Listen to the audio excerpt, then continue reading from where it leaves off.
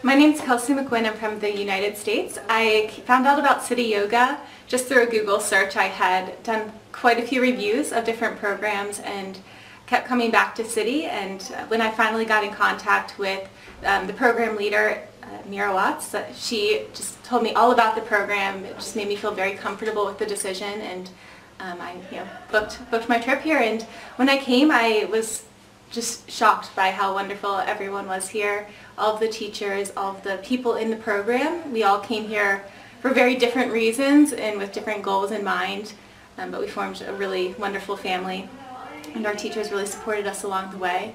It was definitely a challenge in many ways, but um, we had the most wonderful support and I've learned so many things I can't even um, begin to explain how far I've been able to progress in just a month. It's been quite wonderful. And now I finally have my certificate and I can finally go on and teach on my own and share all the wonderful knowledge I learned here.